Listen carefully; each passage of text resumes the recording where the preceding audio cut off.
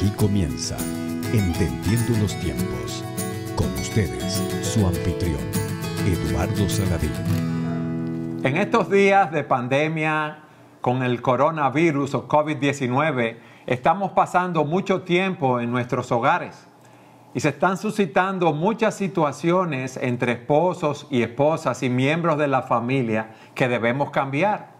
Y hoy queremos hablar de los cambios que queremos ver en nuestro cónyuge, aquellas cosas que nos molestan en el otro, en la cual queremos ver cambios y queremos ver crecimiento. Y hoy tenemos con nosotros a Fausto y Laura González, productores del programa Hogar sobre la Roca, para tratar sobre este tema. ¿Cómo están ustedes? Muy bien, Eduard, Patricia, qué gusto estar con ustedes en Entendiendo los Tiempos. Anticipamos este tiempo que pudiéramos compartir los cuatro en este formato. Es un placer tenerlo con nosotros. Es bueno decir que Fausto es pastor en Rancho Village Baptist Church en Oklahoma y Laura es directora de nuestros corazones. Te presenté bien, Fausto, con todos tus títulos. Más o menos. Y a pesar de que somos amigos como pareja, ¿verdad? Eh, primero Laura y yo amigas de muchos años solteras y luego ahora amigos como pareja, no habíamos compartido yo creo que un programa juntos para parejas, para matrimonios. Así es. Así es, así es aunque hemos compartido mucho en otros contextos, pero no habíamos hecho un programa juntos. Bueno, yo creo que en Hogar sobre la Roca hicimos un programa sobre abuelos hace muchos años. Ustedes sí estuvieron en Hogar sobre la Roca hablando sobre nuestro rol de abuelos, los cuatro. Sí, cómo no. Eh, Fausto, yo no quise decir el título del programa real como tú lo presentaste cuando lo hiciste en Hogar sobre la Roca, porque son cosas que molestan al esposo y cosas que molestan a la esposa. Explícanos eso.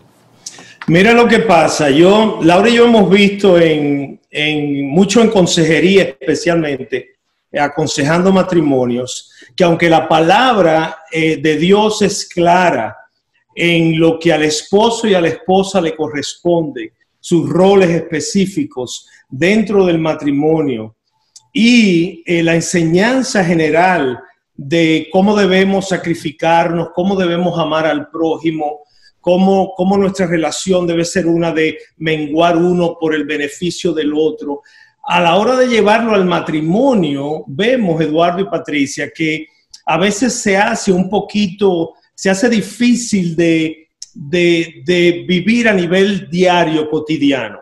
Me es más fácil expresar esas manifestaciones de amor bíblicas a un hermano en la iglesia, a una persona de fuera de mi hogar, pero esta persona con la que yo convivo 24/7, eh, como que a la hora de poner eso en práctica se hace difícil. Entonces yo puedo conocer la, teología, la teoría de, de lo que Dios espera de mí como esposo y como esposa, pero cómo se ve en el día a día, cómo se ve en las pequeñas cosas que nos disparan esos botones pecaminosos que tenemos todos y, entendimos que este era un tema que podía ser muy práctico en la medida que hemos oído a esposos y esposas a, lo largo de los años decirnos, a mí me molesta cuando él hace tal cosa, yo no soporto, pastor, cuando ella me habla de tal tono. Entonces yo creo que es una medida práctica de ayudarnos a, amarnos mejor, amarnos de una manera más bíblica. Ahora, Fausto, una pregunta confidencial todo lo que tú vas a decir son las experiencias pastorales que te han contado tus ovejas y los hermanos de la iglesia o son las cosas que te molestan de Laura? Dime la verdad, para yo saber. ¿eh? ¿este va a ser un programa serio o esto va a ser, eh, por bueno, tú conoces, tú conoces a Eduardo, ¿verdad? Tú has visto otros No, pero yo pensé que en el programa era una persona más seria. Miren, algo que quiero decir es que a mí me ha llamado mucho la atención hablando de este tema que ahora con la pandemia hemos tenido que hacer este tipo de programas. Y yo me digo, wow, pero ¿por qué hay que enseñarle a esposos a convivir juntos? Y eso como que, ¿quién no quiere estar con su pareja 45 días en su casa sin tener que salir? Pues resulta que no, que eso trae conflicto. Y parece mentira. No, y yo he analizado algo con relación a eso. Es que cuando a veces nosotros tenemos un roce sobre una situación, como dice, cosas que me molestan de mi esposo o a él, cosas que le molestan de mí, si yo voy saliendo para el supermercado con la llave, bueno, ya eso se quedó ahí. Pero resulta que ahora eso sucede y estamos confinados a quedarnos en el mismo lugar más tiempo. Entonces, o lo llevamos a una solución y a una oportunidad para crecer o sencillamente se arma una crisis. Fausto, vamos a empezar diciendo las cosas que a ti te molestan o que tus ovejas o hermanos o amigos te dicen que le molestan de sus esposas para no exponerte a ti. Sí, eh, eh, que no respondí tu pregunta anterior. Eh, estos casos que vamos a hablar, nada tienen que ver con la y Todos estos son casos de parejas que hemos visto en consejería. Hago la salvedad. O sea que tú tienes un matrimonio perfecto, ya tú no tienes problema. No, yo no dije eso. Yo no dije Vamos a decir lo que tiene que ver con nosotros. Yo, yo no dije eso.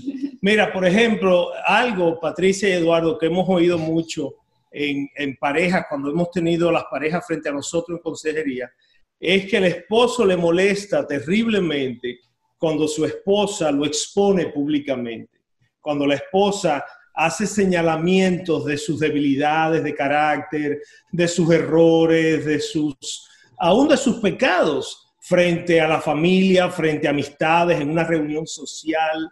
Y es algo que tristemente vemos aún dentro de los matrimonios cristianos. Que, hay, que estemos ahora en una reunión, varias parejas, en una, en una actividad social y que estemos en un ambiente ligero, bromeando, y que ahora quizás la esposa encuentre oportuno eh, hacer una broma del marido, eh, algo que le hizo mal, algo que él regularmente eh, no hace como debe, descuidos que tienen, cosas del matrimonio, de la casa, y quizás para ella esto parece ser algo jocoso, quizás para ella no, no es algo importante, pero él como varón que tiene este sentido dado por Dios, de, que se le considere, que se le respete, que se le admire, él ahora puede verse de repente en el centro del escenario con todo el mundo con sus ojos puestos sobre él y ahora todo el mundo haciendo comentarios y riéndose de, del chiste de la esposa y demás.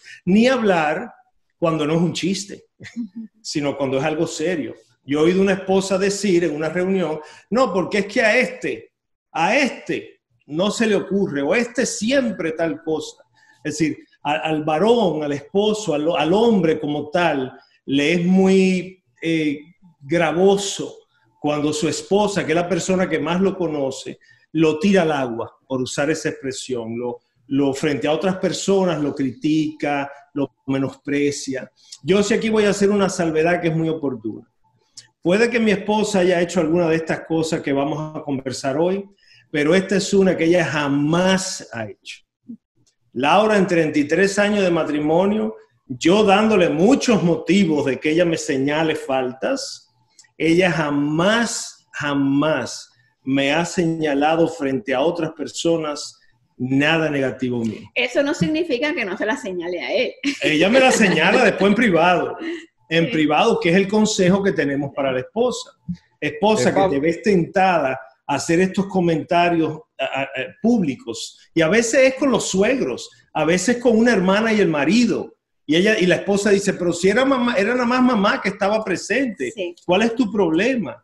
Yo quiero ir un poquito hasta más en cuanto a eso. Yo he visto, y eso me pasaba mucho antes de nosotros convertirnos, que teníamos muchas amistades en común y nos separábamos, hacíamos una reunión en la casa y las mujeres iban a la cocina, los hombres se quedaban hablando y el tema de conversación era todas las cosas malas de nuestros maridos.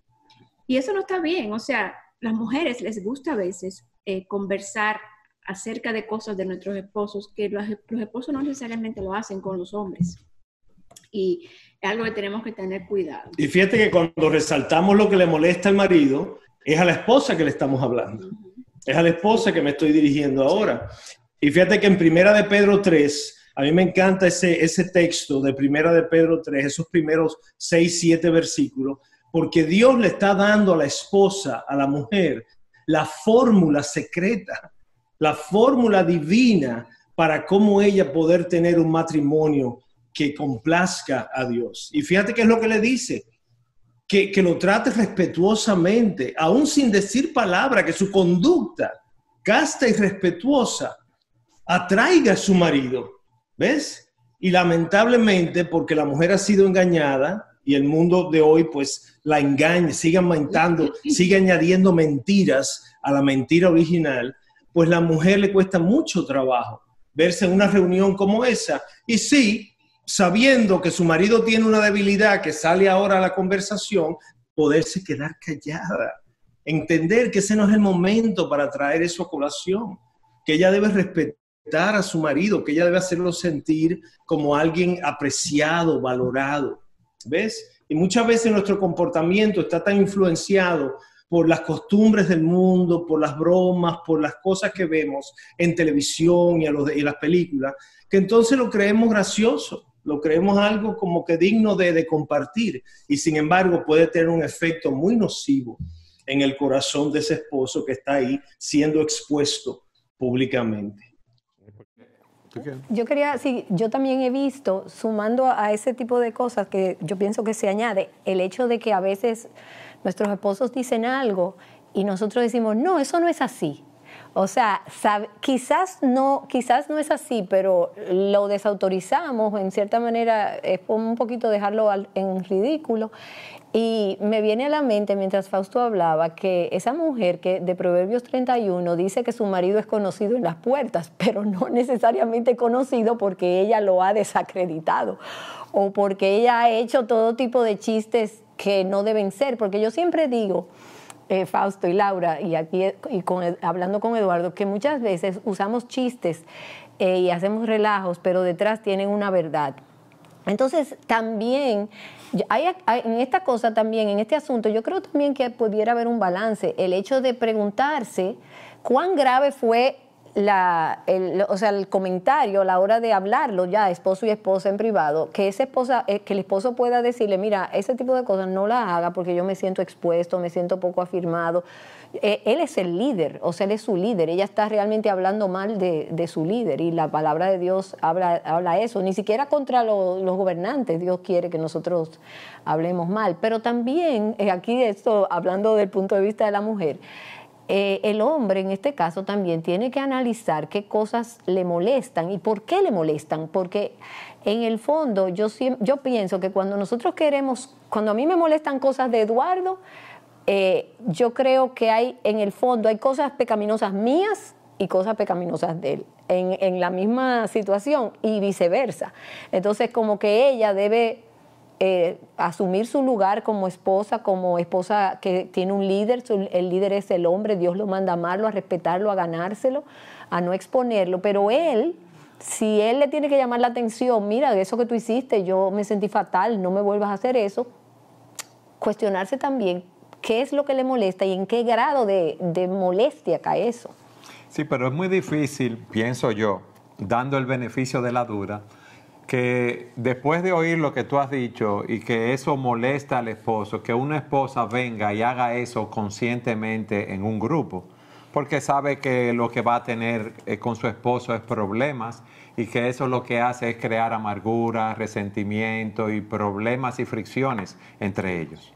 Amén. Y la solución, Eduardo, no es que la mujer no le señale al marido sus faltas. Ella es su idónea. Ella es su compañera, para ella, para eso Dios la trajo a su vida. Es un espejo que Dios trae a la vida del varón para que lo ayude a, avanzar en su desarrollo como cristiano y en su madurez.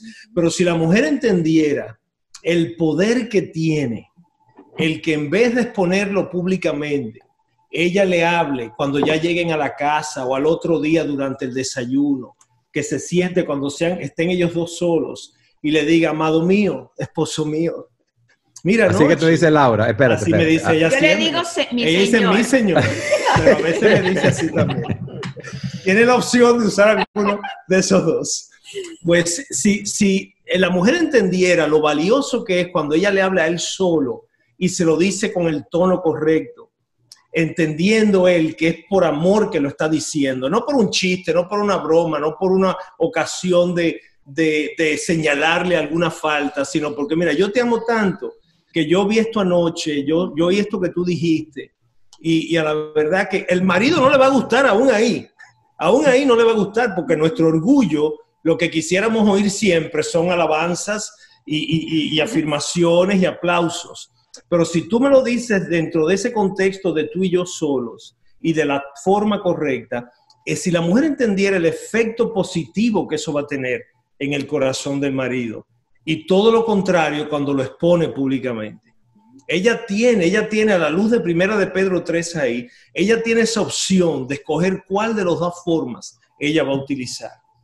Y si ella utiliza la correcta, qué gran beneficio tendría. Pero yo tengo una pregunta. ¿Y cómo ese hombre le va a dejar saber a ella que esa conducta de ella a él le molesta? Porque esto que estamos hablando son cosas comunes que suceden en las, en las parejas. O sea, el hecho de que a los hombres de manera general les molesta. Pero ¿cómo un hombre no deja que una mujer siga creciendo en esa práctica?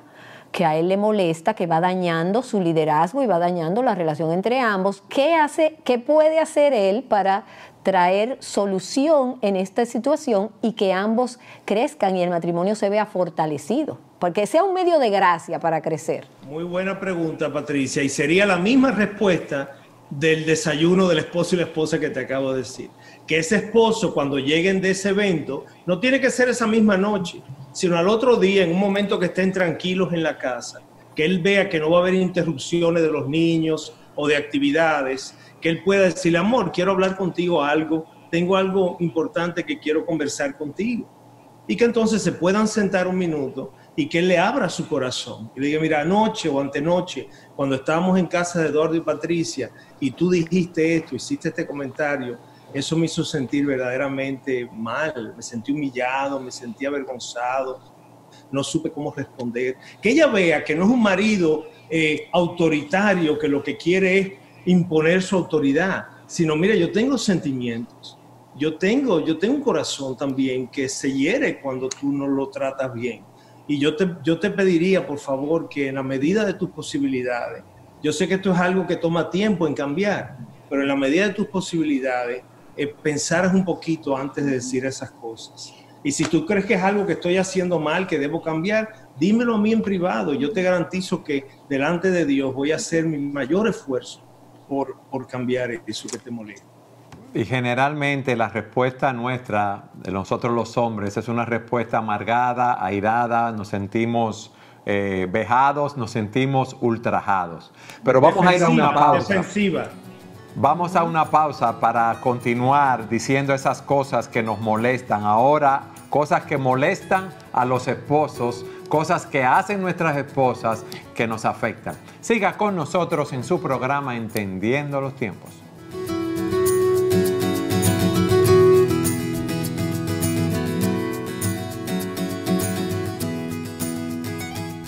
Gracias por estar con nosotros en su programa Entendiendo los Tiempos. Hoy tenemos junto a nosotros a Fausto y Laura de González, productores del programa Hogar sobre la Roca, y estamos tratando el tema cambios que queremos ver en nuestro cónyuge y ahora estamos viendo aquellas cosas que a nosotros los esposos nos molestan, aquellas cosas que nos hacen o dicen nuestras esposas que nos afectan. Fausto, tú nos dijiste que lo primero que nos molesta es que nos expongan delante de otros. ¿Qué otra otro punto tú nos quieres decir. Eh, y es importante, Eduardo y Patricia, destacar que quizás para mí como esposo, ese, esa es mi principal molestia, pero quizás para ti es otra, porque cada uno lo que la esposa le hace afecta en base a sus debilidades, a sus inseguridades, a sus temores. Por ejemplo, otra cosa que hemos visto mucho en consejería, que los maridos se quejan, es cuando la esposa los trata como a un niño. Y tristemente, tristemente, esto es un problema del pecado original, de, la caída, cuando, cuando la mujer entonces eh, sale de, su, de, lo que Dios eh, le, encarga a ella. Y entonces ahora se pone a hablar con la serpiente, desobedece a Dios, come la, la manzana, y entonces viene toda esta, viene la maldición de Dios sobre la humanidad. Y lo vemos, eso es una de las cosas que la mujer tristemente lucha mucho. Ese, primero, el deseo de control, ese deseo de control que lo vemos tan evidente en muchas esposas, pero entonces vemos como la mujer muchas veces trata al marido como si fuera un niño más de la casa. Y si tú se lo dices, ella te va a decir que no, o no, claro que no. Pero en la forma que nos habla, las cosas que nos dice, la manera en que nos repite las cosas, como si fuéramos un niño que no estamos comiéndonos la comida. Y, y la realidad triste, la triste realidad es, mis hermanos, que muchos de nosotros nos portamos como niños. Ahora, Fausto, sí. Tú me dijiste que en esas cosas Laura no te trata así en ninguna de ellas. No aplica a nosotros.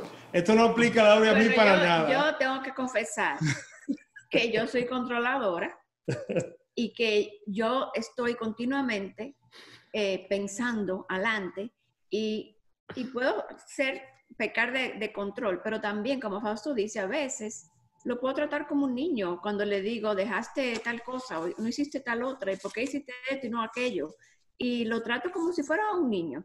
Y yo no sé, porque yo, la realidad es que yo no siento que Fausto se comporta como un niño, pero me pasa eso a menudo y tengo que capturar, yo me capturo en el momento y trato, no quiero tratar así. Yo creo que también tiene que ver mucho con el control. Bueno, como dice el comercial de, televisor, de televisión, no lo había notado. si, si, si, tú me ves hablando con animosidad, es por todos esos esposos allá afuera que sufren de esto. Pero la realidad es, y yo quiero señalarle a los maridos, Eduardo, que, que si bien es la falta de la esposa, porque está violentando el diseño de Dios de ser sujeta a su marido y de, y de ser su ayuda, eh, e, es importante que el esposo entienda también cómo él contribuye a que la esposa caiga en esta tentación. Porque muchas veces somos hombres que preferimos quedarnos en un mueble viendo un juego de fútbol a hacer un trabajo en el jardín que tenemos que hacer. O, sabemos que tenemos que hacer una llamada de una diligencia importante y dejamos que pasen días y días y días y no hacemos lo que nos toca, pero sí estamos haciendo otra cosa que sí que yo quiero y que me gusta. Entonces, sí, la mujer hace mal cuando nos trata como un niño, pero el hombre tiene que evaluarse y, y, dar, entender que, se está dejando usar por el maligno al ser pasivo, negligente, al ser descuidado, al, no, responder, al no comunicarse, y la esposa se frustra, porque ella me ha dicho ya cinco veces que suba no sé qué cosa a un closet que está alto, y yo no le contesto. Entonces ella cree que yo no le estoy oyendo y vuelve y me lo repite y vuelve y me lo repite. Y a la sexta el marido le dice, está bueno ya, me has dicho eso 20 veces, yo no soy un niño. ¿Ves, ¿Ves la dinámica? ¿Ves la dinámica cómo se da? Y ahora tenemos un conflicto que se pudo haber evitado si el hombre hace la tarea que le toca a la primera. Ok, una pregunta. Y cuando no te lo dicen seis veces y a mí, te lo dicen la primera y antes de la segunda ya te están controlando, ¿qué tú haces? ¿Cómo así? tú hablas, tú hablas como un hombre, tú hablas como un hombre que, que ha experimentado esa, esa situación. No, no, mira. No, no. Patricia es eh, muy estricta con los horarios y muy, muy puntual. ¿tú ves? Y por ejemplo, cuando tenemos que salir a alguna actividad, eh, si la actividad es a las 8, ella quiere que salgamos de las 7 y media, aunque lleguemos 20 minutos antes. Entonces resulta que hace una presión que es indebida. Tú ves, entonces nos vamos de viaje, ok, tenemos que llegar al aeropuerto dos horas antes, pero no tres horas antes. Entonces, si es dos horas antes y yo te dije, vamos a llegar dos horas antes, no me haga la presión. ¿Qué tú haces en ese caso, Fausto? Aconseja. Déjame, yo decir algo. Cuando, cuando a veces, bueno, con lo de los viajes, cuando, ¿verdad? Se viajaba, porque no sé ahora cuándo volverá a ser, él me dice a ti te gustan estas cosas como de tener los pasaportes en orden, todo en orden para salir, el tiempo. Y le digo yo, no, no, no, no es que a mí me gustan, yo quiero que tú tomes el control, pero cuando yo veo que tú no lo tomas, entonces alguien tiene que salir adelante para que lleguemos a tiempo al aeropuerto. Entonces, en ese sentido, sí, nosotras tenemos, ni, ¿verdad? Cuando las mujeres tienen hijos, a veces el esposo pasa a ser el, el, tercero, el cuarto uno más de esa camada que la mujer se pasa el día dirigiendo y llevando allí, trayendo aquí, hasta, tus deberes, hasta la otra. Y adoptamos como ese modo de, de, de, mando, vamos a decir, porque es un, un modo de mando Pero eso que tú dices es muy cierto. Hay veces que los hombres simplemente tienen que asumir su rol de liderazgo y decirle, yo me encargo, mi amor, yo me encargo, déjame encargarme a mí. Con esas palabras, una mujer echaría hacia atrás y dejaría que, que lo haga, porque nosotras o sea, no es que, como decía Laura, no es que queremos hablarte como un niño, pero que alguien tiene que hacerlo, alguien tiene que hacer lo que hay que hacer. Entonces, si no se hace, la mujer viene a ser el vocero. Fausto, ¿qué consejo tú le das? Porque hay una realidad. Hay hombres que dicen, yo me encargo y no se encargan. Entonces, ¿qué tú le dirías? Yo creo, yo creo que aquí entra la misma ecuación de cuando hablamos, por ejemplo, en cuanto al devocional familiar y que el esposo es muy pasivo, no toma la iniciativa, la esposa entonces se ve teniendo que ser la que traiga la palabra, reúna a los niños. Yo creo que pasa lo mismo aquí el varón, lastimosamente, y muchos en nuestros países de Latinoamérica, puede ser muy, muy diligente en el mundo de los negocios, en su trabajo, ser el primero, el vicepresidente, el que está a cargo de todo. Pero entonces en casa, la mujer tiene que sacarme hasta la corbata que me voy a poner, porque yo no sé coger mi corbata.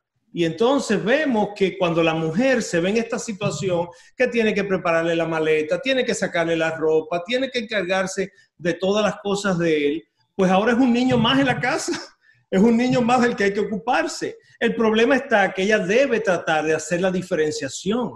Este es mi marido, este no es un niño, y estos son mis niños. Entonces al marido le toca orar, le toca orar y le toca, como dicen en inglés la expresión, man up le toca asumir su posición. Como dice Patricia, si la esposa ve que el marido tiene iniciativa en esa área, ella va entonces a, quitar las manos de ahí, porque ve que, que él se está encargando. Pero cuando una mujer ve que el marido, ay, se me olvidó, ay, tú no lo hiciste, ay, pero yo te dije hace tres días, entonces ella dice, no, yo tengo que encargarme, porque si no las cosas no se van a dar.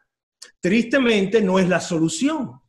Ojalá la esposa decidiera, tú sabes qué, yo le voy a dejar las áreas que a él le toca, se las voy a dejar a él. Si él se olvidó hacer la llamada, si él no, si él se olvidó renovar los pasaportes, si a él se le olvidó inscribir al niño en el colegio, pues nada, no. Tendremos que enfrentar las consecuencias varias veces hasta que él se dé cuenta de que va a tener que ponerse en la cosa. Es lo que yo le digo a las esposas cuando hablamos del devocional, pero pastor, tengo que ser yo entonces la que dirige el devocional porque él no tiene la iniciativa. Yo le digo a la esposa, hermana, mientras tú sigas tomando la iniciativa, él se va a quedar sentado. El día que tú la dejes de tomar y le digas, amado mío, esposo mío, señor mío, yo quiero que tú asumas tu rol que Dios te ha dado de líder espiritual. Yo no voy a meterme ahí. Yo voy a esperar tu liderazgo. Yo voy a confiar en tu liderazgo. Eso va a tomar un tiempo. Esto no es algo que cambia de un día a, de un día a otro. Pero si vamos haciendo los cambios graduales y oramos que el Señor nos ayude, yo creo que, hay esperanza, yo creo que podemos ver cambios. Yo creo que a la mujer le da temor eh, soltar, porque ella sabe que puede ponerse en una situación vulnerable, quizá la familia. Pero me encanta, como dice Primera de Pedro, porque le dice a la mujer en Primera de Pedro, 3. el primer Pedro 3, que hagan el bien, o sea, que se sometan a su esposo en este caso, sin miedo de nada que pueda atemorizarlas, porque al final es que tenemos que perder el miedo y porque es a Dios que nos estamos sometiendo.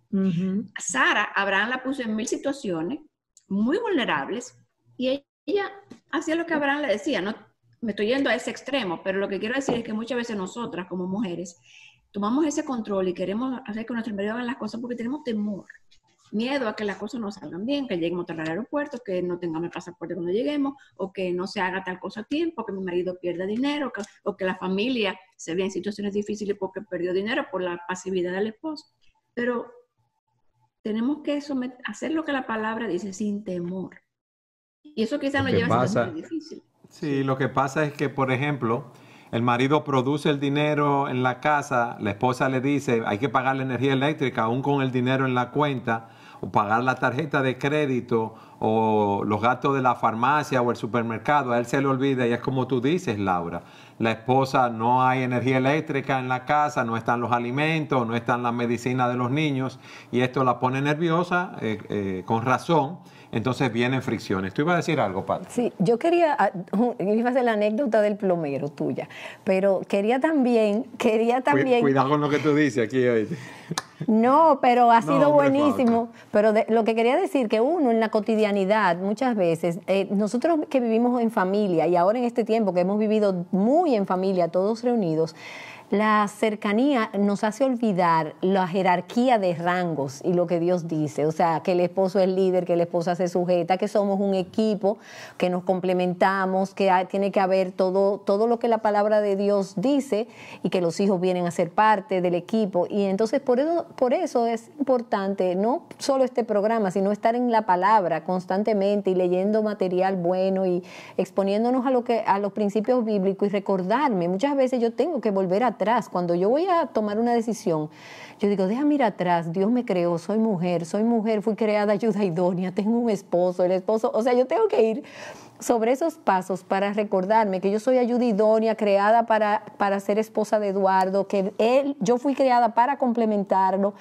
o sea, todo eso yo tengo que repasármelo en mi cabeza a la hora de tomar decisiones y hacer cosas para ir por el camino correcto, porque con mucha facilidad nos desviamos de esa senda. En la cotidianidad y en la confianza, ustedes tienen treinta y pico de años de casado, nosotros vamos a cumplir 40 el mes que viene. Entonces ya nosotros tenemos tanta confianza que nos olvidamos de lo que Dios quiere de nosotros. Pero lo que iba a decir como un chiste es que tú sabes que Eduardo no hacía prácticamente nada en la casa. es que no tengo habilidades, que no tengo habilidades no Dice que no tiene, que no tiene destreza manual. Entonces yo le tenía mucho miedo cada vez que él me decía, yo voy a arreglar tal cosa. Yo decía, ay, no, por favor, mejor no. Pero resulta que ahora, en este tiempo de confinamiento, se dañó una cosa en el baño y este hombre hasta vio videos de de YouTube para arreglarlo y lo arregló satisfactoriamente. yo sabía que tú podías, yo sabía que tú podías. Se me creció muchísimo en el área y ahora yo le confío. Tú él me dice, voy a hacer tal cosa y ya yo sé que se va a documentar, se va a tomar su tiempo y lo va a hacer correctamente. Ya yo le digo, no, no, eso es tu departamento, ya yo no me meto ahí. Fausto, y el caso de la esposa que ve que su esposo es así y lo compara con otros hombres, entonces, ¿qué tú le dirías? Esa es otra de las muchas cosas que, que molesta al hombre. Cuando Porque, perdón, Laura te va a decir, Laura te va a decir ahora, mire Eduardo, qué bien sabe de plomería y tú no sabes nada. No, mi eh, marido ponte la pila para que aprenda. mi marido es un ase. Yo soy un handyman. Yo soy, yo soy electricista, yo soy electricista también. Mi marido arregla los inodoros, él pinta, él monta lámparas, él pasa la grama, él cuida Sigue, sigue, sigue, Pues Eduardo va a tener que coger un tutorial contigo, Pauto. Pauto, respóndeme mi pregunta mejor. Esa es otra de las tantas cosas que las mujeres hacen que molesta mucho al marido, al esposo. Y es que para muchas es difícil no compararlo con otros hombres en la vida de ellos dos que tienen talentos, tienen aptitudes, tienen cualidades y, ella en su pecado, en su debilidad, cuando ve que su marido no da la talla en algo o en lo otro, pues sale de su corazón. Yo creo que es el síndrome del pasto más verde. Al final uno no ve los otros problemas de, de ese hombre y uno piensa, pero tiene lo que el mío no tiene, pero quizás tiene un montón de defectos que tú no lo conoces, pero uno piensa que si fuera como aquel, Sí, es típico. Por ejemplo, estamos de viaje varias parejas en una conferencia y una esposa le dice al marido, mira, mira fulano y fulano, cómo él se hace su maleta, él se encarga de todo lo del viaje, ella no tiene que ocuparse de nada de eso y a ti hay que hacerte todo, hay que guardarte todo, hay que recordarte todo. Entonces, pero esa esposa no está viendo las debilidades de su otro marido que hace la maleta, que tiene otras áreas también. Entonces, es el pecado, es el pecado de comparar al, regalo que Dios te ha dado, que es tu marido, imperfecto como es, con otros regalos de otras personas. Yo me iría más a la raíz. Yo creo que el pecado de comparar viene cuando yo deposito mis ojos en los defectos de mi esposo. Como que yo me concentro en todos esos defectos y por eso veo tan bueno al otro persona que estoy viendo por allá. y eso yo creo que nos pasa a todas. Y yo no sé si a los hombres les pasa, pero a mí me pasa que uno se concentra mucho en los defectos. En lo negativo. En lo negativo de nuestros esposos. El otro día yo estaba caminando a la perrita Y Dios como que me ministró de manera que me vino ese pensamiento que yo pude entender hace como dos días, señores, de esto. Estoy caminando a la perra y de repente me dice, ¿tú sabes qué pasa? Tu esposo no es un obstáculo para ti, es un instrumento. Porque muchas veces nosotros vemos a, a, nuestros esposos como obstáculos para lo que nosotros queremos lograr, para lo que queremos hacer, y no como un instrumento de Dios. Entonces, igual nos pasa que nos, nos concentramos muchísimo en todas las cosas que nos hace, que no hace esto, que es así, que es asado, que es asado, pero no estamos viendo todas las cosas que sí hace, que son buenas. Entonces, eso es una lucha que yo tengo. Yo creo que, la, que muchas mujeres nos pasa. Yo, antes de que tú comentaras, yo iba a poner eso, yo escribí eso, que Dios es soberano con el esposo que nos dio, la esposa que les dio a ellos, que son el instrumento perfecto para llevarnos a crecer en gracia. Pero como tú decías, Elizabeth Elliot siempre decía que el mejor de los hombres, nosotros no debemos poner en ningún hombre el, el anhelo de perfección que solamente Cristo nos va a dar. Eh, pero en el mejor de los casos, un esposo tiene un 80% bueno y un 20% malo. Podemos escoger vivir la vida enfocadas en el, en el 20% malo e ignorar el 80% o hacer lo contrario, enfocarnos en el 80% y entonces que Dios se ocupe del 20% y nosotros orar por eso. Pero te voy a decir algo. Al final. No, te, te, voy a decir algo. Eso aplica a mí, pero Fausto, que tiene el 99% bueno, eso no aplica para Fausto. Mira, al final uno creo que uno también como que tiene esa idea absurda de que una persona puede ser perfecta. O sea, como que tú puedes que esa persona sea perfecta para ti. Y eso es imposible porque somos pecadores. No hay nadie perfecto. Por eso está Jesucristo, el único. Pero si yo puedo pensar, o sea, e, es esa idea de que yo quiero que mi marido sea el que yo necesito, perfecto para mí, como yo lo quiero, para, que, para yo estar feliz. Y eso no puede ser. Mira, Laura, nosotros nos casamos y se nos olvida que Dios en su soberanía nos da, creó a nuestro cónyuge como es. Que hay muchas cosas que tienen que mejorar, claro que sí, pero nosotros, aún en áreas que no son pecaminosas ni son malas, queremos clonar a nuestros cónyuges para que ellos sean como nosotros queremos que sean y no lo dejamos ser como Dios lo creó en ese sentido. Si un cónyuge es un, eh, un cónyuge es un poco distraído o no es tan rápido como el otro para reaccionar, debemos entender esto.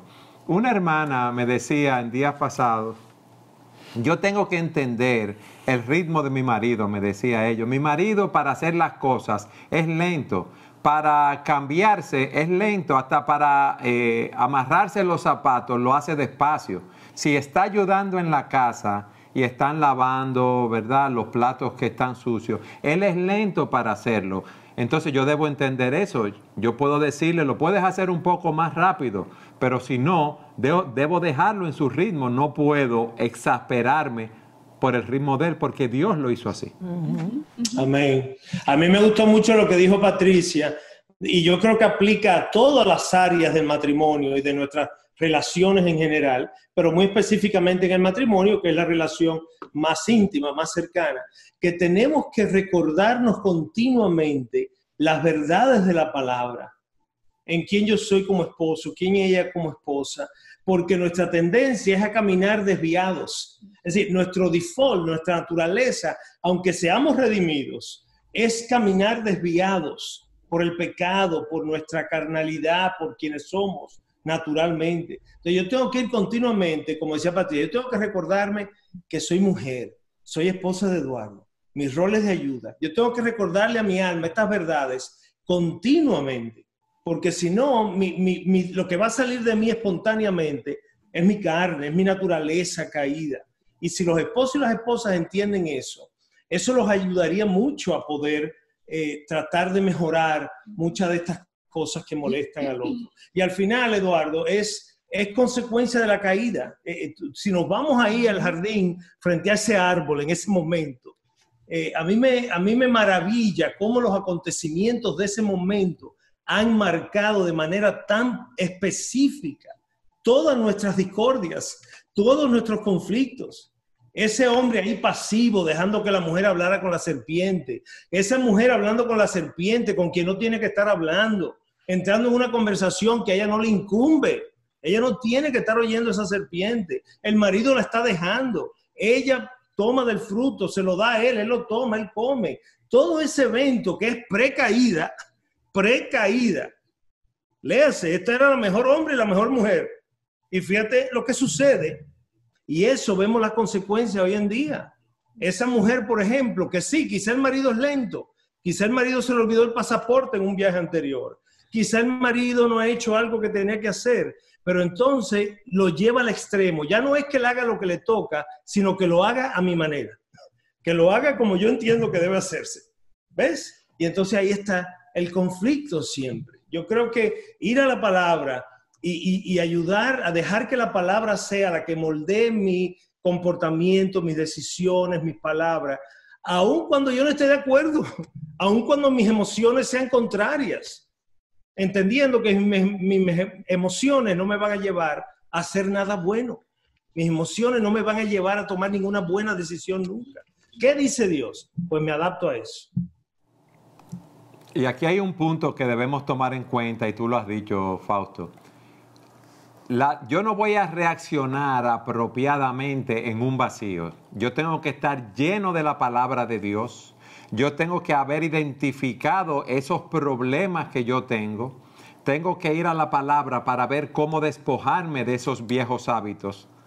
Tengo que ir a la palabra para nutrirme de nuevos hábitos, memorizando la escritura y meditando en ella de manera que cuando se presenten esas situaciones yo pueda reaccionar apropiadamente. Pero vamos a seguir hablando de este tema en el próximo segmento. Siga con nosotros en su programa Entendiendo los Tiempos.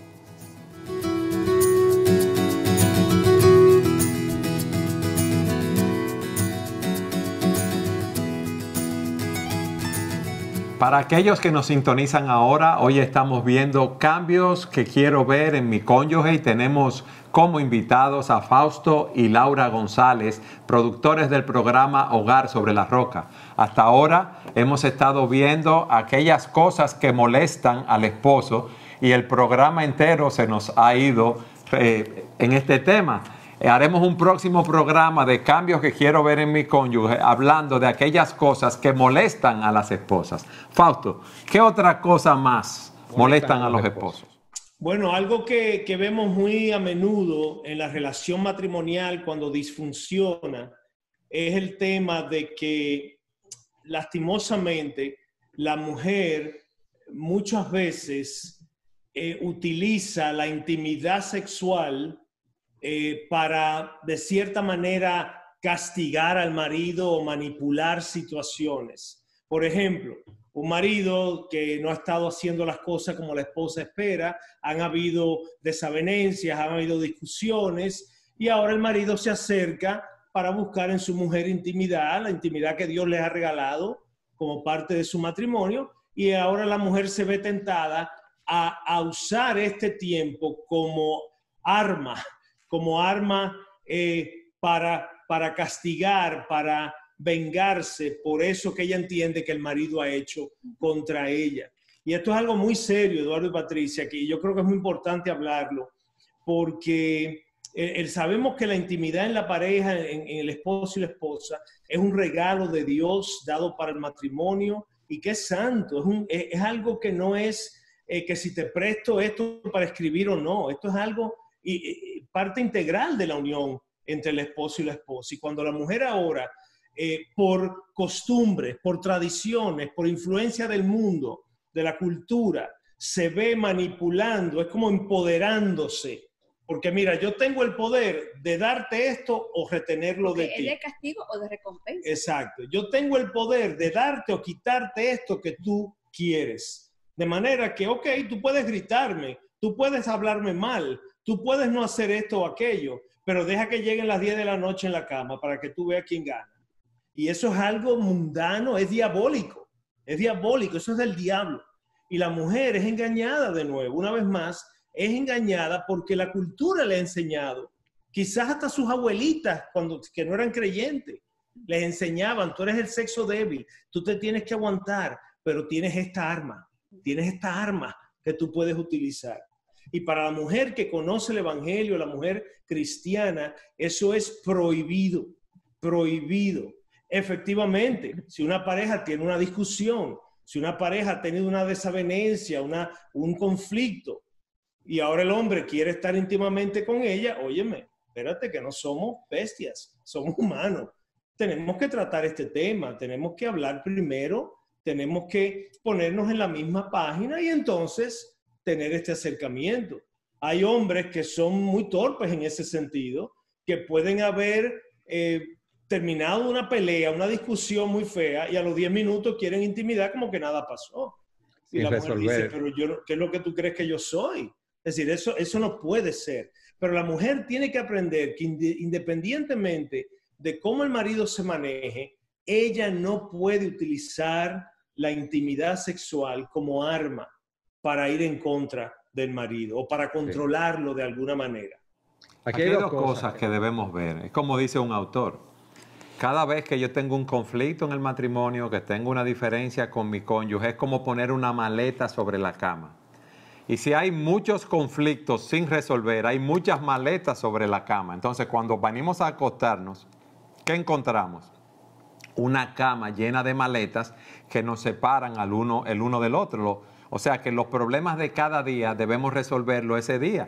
No debemos dejar que el sol se ponga sobre mi enojo. Yo debo tratar diariamente todos los problemas, todas las diferencias, todas aquellas cosas que me molestan con mi esposa, siempre que se puedan en ese día para irme a acostar con tranquilidad. Pero también debo recordar que es un principio bíblico.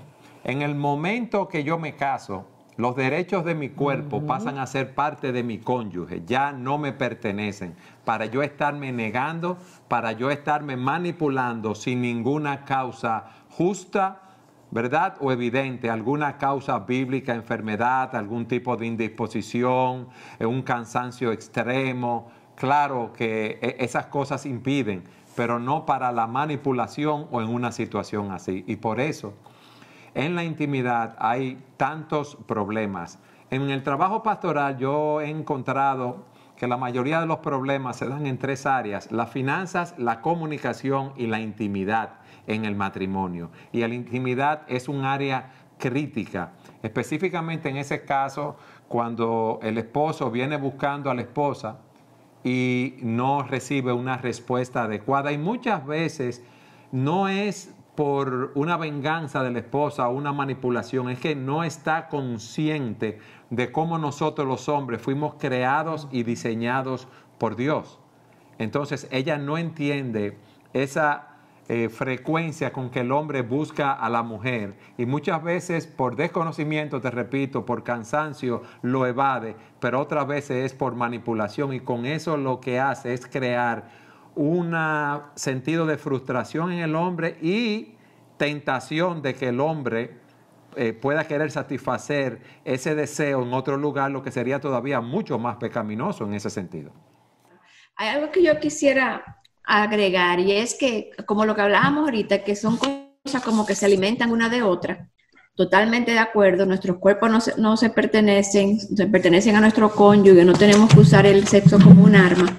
Pero me encanta también que primero de Pedro, Pedro llama a los esposos a, a, conocer a sus esposas, a entenderlas, a vivir de manera comprensiva con ellas. Y es cierto, y le decimos siempre esto cuando tenemos consejería con prematrimonial y con los matrimonios, la mujer funciona diferente a los, a los hombres. Las mujeres, para, para tener deleite sexual, para tener una buena relación en la cama, necesitan estar conectadas con sus esposos, necesitan tener cierto nivel de conexión emocional. Los hombres no, los hombres pueden, como Fausto dijo, tener una pelea, pero ya ellos pueden tener, hacer el amor perfectamente sin, sin pensarlo. El amor necesita tener esa conexión. Eso no quiere decir que ella no se, no, no complazca a su esposo un tiempo, un, día, un día que ella no tenga deseo, pero el, esposo sí. Pero que el esposo pueda tener esa comprensión, ese entendimiento de cómo su esposa funciona, porque al final los dos van a salir beneficiados si ella viene con, ese, con el, el, anhelo de estar con él, porque se siente compenetrada. Hay esposos, por ejemplo, que se pasan el día en el trabajo, no le mandan ni una noticia a la esposa, no sabe nada del esposo. No soy yo ese, no. ese no soy yo. Y entonces vienen ya en la, no, en la cama la noche, vamos, vamos a esto pero hello, ¿dónde tú estuviste todo el día? Como que hay, necesita como como cierta conexión emocional la mujer para sentirse que tiene deseo, para hacerlo con deseo, porque al final quizá lo va a hacer porque se va a someter a la palabra, pero para hacerlo también con deseo. Yo creo, como dice, como decías tú, Eduardo, de, del varón, así mismo como dice Laura, la mujer. Es decir, cada uno tiene necesidades diferentes, diversas. Y yo creo que volvemos al mismo principio. Al final es, no es lo que yo necesito, no es lo que ella necesita. ¿Qué es lo que dice Dios? ¿Qué es lo que dice Dios? Como tú nos recordabas, Eduardo, mi cuerpo no me pertenece ya el día que yo me casé, le pertenece a ella. Eso lo dice yo lo dice Dios. Yo digo, no, este es mi cuerpo y mi cuerpo quiere lo que él quiere. Pero Dios dice, no, ese cuerpo es mío y de tu mujer, no es tuyo. Entonces yo tengo que recordarle estas verdades a mi alma diariamente para poder funcionar de acuerdo a lo que Dios quiere que yo haga. Porque tú tienes toda la razón, el hombre, la frecuencia de intimidad quizás es mayor y él no necesita mucho preámbulo. Ya como, como dijo el onuco con el agua, ¿qué impide que me bautice? Mira, aquí estamos tú y yo, ahí está la cama. ¿Qué impide que nos vayamos para la cama? La mujer no, la mujer requiere de romance, de palabras de afecto, de ver que hay esa conexión emocional que culmina entonces en el acto de la intimidad. El hombre no necesita eso. El hombre pudo haber tenido un día terrible en el trabajo, llegó, comió y vamos a hacer esto, que eso me satisface. Entonces, no podemos dejarnos llevar por nuestra tendencia. Ah, no, que si la mujer es así, no que el hombre es así. No, no, ¿qué dice Dios? ¿Qué dice Dios? Vamos a tratar de acercarnos a lo que dice Dios. No lo vamos a hacer completamente ni perfectamente, pero vamos a tratar de acercarnos a lo que Él dice y vamos a ver un cambio, vamos a ver una mejoría. Yo estoy muy contento de que ustedes hayan traído esos puntos que son cosas que suceden en los hogares, en los matrimonios, pero uno muchas veces no está apercibido de cómo esos asuntos, esos temas, esas cosas afectan nuestra relación, el que mi esposa me exponga ante otros, que me compare con otros, que las cosas que, que, tú has dicho, que use el sexo, me trate como un niño, que use el sexo como una manipulación o venganza nos queda poco tiempo y me gustaría que ustedes nos dijeran una cosa más en el poco tiempo que nos queda. Pero déjame, yo puedo hacer un comentario. Lo que es importante que estas cosas que a veces, a veces parecen las pequeñas zorras que dañan la viña, el punto es que traerlas es porque hay que hablarlas porque si no se solucionan a tiempo, se convierten en grandes, grandes problemas. Desde la primera que vimos, eh, o sea, que la esposa lo expuso, decirle, esto, esto también hay que hablarlo, no dejarlo pasar allá, el esposo sale, eh, tira la puerta, se va por ahí, no hablan en el día entero. No, esto nos está diciendo, tenemos que hablar, tenemos que hablar. Y si no nos ponemos de acuerdo para hablar, entonces buscamos ayuda definitivamente, pero hay que solucionarlo porque el matrimonio es para toda la vida. Entonces, esto es para toda la vida, vamos a hacerlo deleitoso para toda la vida, vamos a tratar con los problemas, vamos a tratar con estas cosas. Pero cuando no se tratan, lo que tú dices, es que se carcome, hay algo, hay un malestar, que ya tú no, llega un momento que tú no sabes qué lo inició, sino todas estas cositas, todo esto... No, y eventualmente lleva a un desánimo, a una desconexión emocional, y cuando vienes a ver, tienes 40 años de matrimonio, pero no hay, ya no hay unidad, ya no hay relación. Estamos dos gente viviendo en esta casa y muy viejos ya para hacer nada al respecto. ¿Ves? Y tristemente hay muchos matrimonios así. Hay, como tú dices, me encanta la ilustración de la pequeña zorra, porque hay que atraparla, hay que atraparla. Desde que asoma el hocico, hay que atraparla, porque si no, invade y acaba. Y en Cristo siempre hay esperanza. Amén. no importa los años que eh, tengamos de casados, siempre hay esperanza. Y lo primero es arrepentirnos. Cuando nosotros nos damos cuenta de una de esas cosas, en Cristo hay esperanza, pero hace falta arrepentimiento, hace falta como yo aceptar, mire, es verdad. Yo eso lo hago, te pido perdón, yo me arrepiento, ayúdame. Y, el, Señor, y el Señor tiene gracia en abundancia y, puede haber mucha restitución y redención de todas esas cosas. Amén. Si yo hago cosas que molestan a mi esposa, aunque no sean pecaminosas por forma de ser, yo debo tratar de cambiar. Pero yo debo saber que el cambio no es algo que está en mí. ese cambio viene del poder de Cristo en mí con su espíritu. Cuando yo voy a los pies de Cristo arrepentido de mis pecados, cuando yo confío en Él para salvación, cuando Él es el Señor de mi vida, cuando su Espíritu Santo viene a morar en mí y produce ese fruto de amor, gozo, paz, paciencia, benignidad, bondad, fe, mansedumbre, templanza, y empiezo a crecer a la imagen del Señor. Y voy a hacer las cosas bien, primero para agradar al Dios que me dio esa salvación tan grande y segundo, para agradar a mi esposa o a mi cónyuge en este caso, que es el regalo de Dios para mí. Es la persona que me dio para que yo creciera a la imagen de Jesús, para que yo creciera emocionalmente, para yo formar una familia, para yo crecer en todos los aspectos. Pero tristemente, como el hombre no tiene a Dios en su corazón, cada quien quiere hacer las cosas como bien le parece. Cada quien lo que está buscando es su propia satisfacción. Y las personas lo que dicen, yo soy así, te molesta, pues entonces déjame o vete, o vamos a divorciarnos, que son palabras que nunca deberían decirse en un matrimonio, porque ambos estamos trabajando con un fin común cuando somos cristianos, la gloria de Dios, y queremos que nuestro matrimonio refleje lo que es la relación de Cristo con su iglesia. Por lo tanto, en este caso, las esposas deben entender que deben cumplir con el rol que Dios le ha asignado de ser ayuda idónea de sus maridos, de someterse de una manera bíblica, pero ser ayuda idónea es complementarlo, es ayudarlo a crecer, es ver esas áreas que realmente le molestan o el esposo ver esas áreas que le molestan que plantea la esposa, pero en vez de yo pelear por eso, vamos a buscar la solución.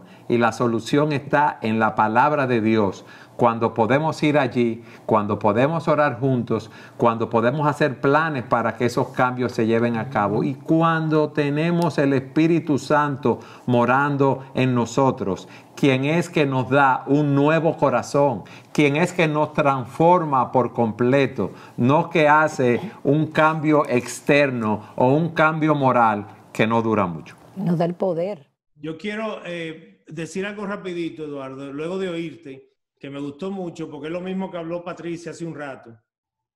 Me pareció escuchar a Eduardo Saladín hablarse verdad, hablar las verdades de la palabra. Él se le está recordando a su alma, ¿ves? Para que ahora él pueda actuar en base a esas verdades. Pero algo que es muy importante recordarle a los matrimonios es que en sus tiempos de devoción personal, oren por su pareja también. Porque muchas veces creemos que a mí me toca cambiarla a ella. Y a ella, ella cree que a ella le toca como mi ayuda cambiarme a mí. Y eso no es así. El que cambia es Dios, como tú acabas de decir. Es a través de su espíritu y su palabra que Él hace una obra transformadora en nosotros. Entonces, que en sus tiempos de oración, cuando traigan sus oraciones ante el trono de la gracia, pedir por esa esposa, por ese esposo, Señor, tú sabes estas áreas que no se asemejan al carácter de Cristo. Ayuda a mi marido, ayuda a mi esposa, Señor, transfórmala, acércala más a ti, que tú puedas ver, que tú puedas hacer esos cambios, no para mí, no para mi satisfacción, no para mi comodidad, sino para tu gloria, para que tú recibas la gloria al ver esa vida cambiada. Y, y by the way, y a propósito, cámbiame a mí también. Ayúdame a mí en las áreas mías que no se conforman. Porque yo veo que muchos matrimonios, cuando estamos en la consejería, es como que yo creo que si yo no hago esto, él no va a cambiar. Y no es así, Dios cambia. Para los que tenemos ya 30 y 40 años de casado, ya hemos confirmado que no podemos cambiar el otro. Así Eso es futil. Eso es solo Dios que puede hacer esos cambios. La gracia de Dios. Y déjenme decirles algo en el minuto que nos queda. Es como tú dices, por más presión que yo haga, yo no puedo cambiar a nadie realmente. Los cambios verdaderos son los cambios internos, son los cambios del corazón que produce el Espíritu Santo. Eso es una cosa. Lo segundo es que quizás muchas esposas han oído esas cosas que molestan a los esposos y se sienten redarguidas, se sienten reprendidas por lo que han oído. Eso es bueno, porque cuando hacemos algo que no es correcto, dice la Escritura, no hay hombre que haga siempre el bien y nunca peque. Todos nos equivocamos, todos pecamos, todos hacemos cosas que molestan a los demás, pero tenemos una herramienta para enmendar estas cosas. Podemos ir al trono de Dios arrepentido de nuestros pecados, confesando a Dios que lo hemos hecho mal. Y dice la Escritura que si confesamos nuestros pecados, Él es fiel y justo para perdonarnos y limpiarnos de toda maldad. Debemos confesar nuestro pecado a Dios, debemos confesar nuestro pecado a nuestro cónyuge y debemos hacer planes con nuestros cónyuges para poder cambiar esas cosas. Mis hermanos, gracias por haber estado con nosotros. Tenemos que hacer un segundo programa porque las mujeres van a decir, ok, Fausto se aprovechó y habló de todas las cosas que molestan a los esposos, pero nosotros queremos que Laura y Patricia hablen de las cosas que molestan a los esposos. Entonces, vamos a hacer un próximo programa para concluir cambios que queremos ver en nuestros cónyuges. Gracias nuevamente y que el Señor los bendiga. Gracias. Y gracias a y gracias a ustedes por haber estado con nosotros en su programa Entendiendo los Tiempos. Entendiendo los Tiempos es una producción de Gracia TV, un ministerio de Iglesia Bíblica del Señor Jesucristo, grabado en los estudios de Gracia TV en Santo Domingo, República Dominicana. Síguenos en nuestras redes sociales, Twitter, Facebook, Instagram. Contáctenos a nuestro correo entendiendolt.gmail.com